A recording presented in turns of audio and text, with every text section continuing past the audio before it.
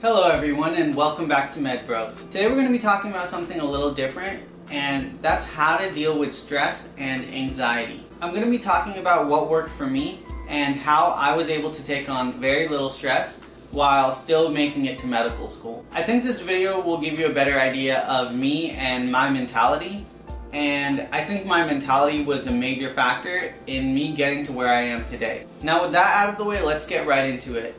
My first recommendation is to take a step back and realize that you're not the most important person in the world and everything you do is not the most important thing in the world. If you're better able to put things in perspective, then your college acceptances, medical school acceptances, your exam scores won't be as devastating when you don't get what you want. If you take things too seriously and think that the world's gonna end if you fail at something, then there's way too much weight on your shoulders and that's going to contribute very heavily to stressing you out. You should shift some of the focus from yourself to the people around you, whether it's friends, family, or whoever.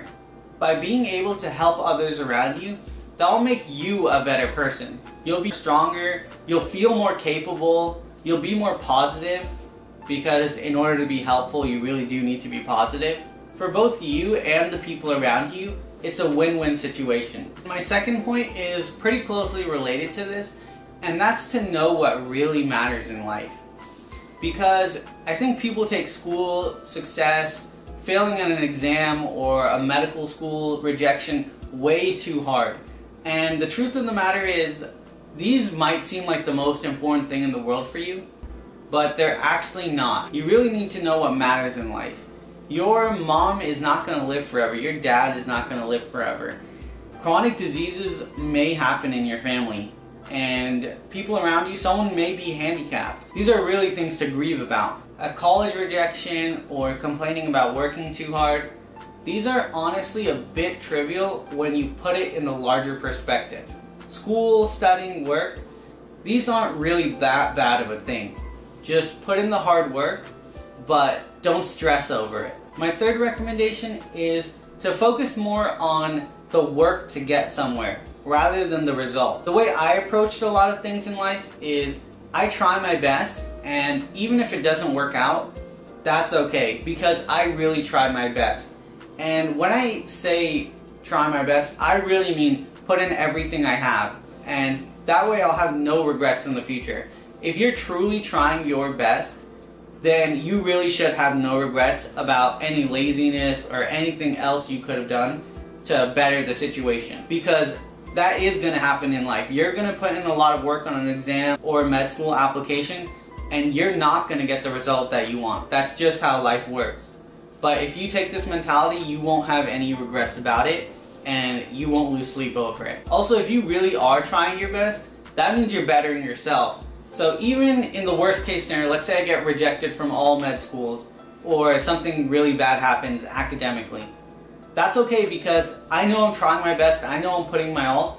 One way or another, I'm going to reach success. So that's the mentality I recommend taking instead of stressing out over not getting the outcome you want. My fourth point is to really think about what's stressing you out and what's de-stressing you. It's really easy to lose sight of what's actually calming you down, what's making you more tense. So you really need to sit down and think about the things you do on a daily basis that are causing what result. For example, you might hang out with friends after school and you might think that that's a great de-stressor. But if you actually think about it and you realize that your friends are pressuring you to do things and it's a negative environment, then that de-stressor might have actually been a stressor. If you actively think about it, you'll be able to remove these things out of your life. And on that same note, you need to realize what de-stresses you and do that more often. And make sure you make time for that. It's really easy for people to not properly pursue things that are de-stressing them due to one reason or another. You need to think about what de-stresses you, whether it's music, getting more sleep, a certain activity, a certain sport, and you need to pursue that and make sure you make time for it. And now for the mother of all stress. You need to stop comparing yourself to everyone else. It is so stressful to do that, whether it's social life, money, educational success, Comparing yourself in this way is the worst possible mindset to have. An easy way to reduce the stress here is to get off sites like Facebook that are really negative in this sense and really increase stress. Because we're human, everyone is guilty of making these comparisons at one point or another.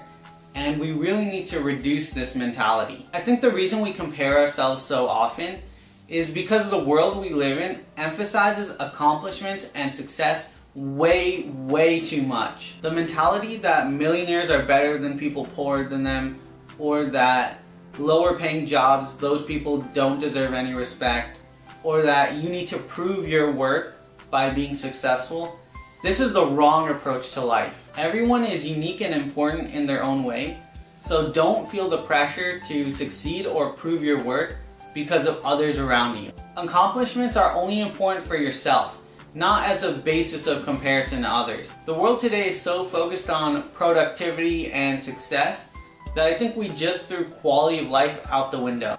Trying to constantly keep all of these things in mind are ways that really reduce my stress level on my way to medical school. So I really wanted to make this video and share this with you in the hopes that it would help and I hope it did. And if you liked it, please subscribe and please have a positive and happy life. See you next time.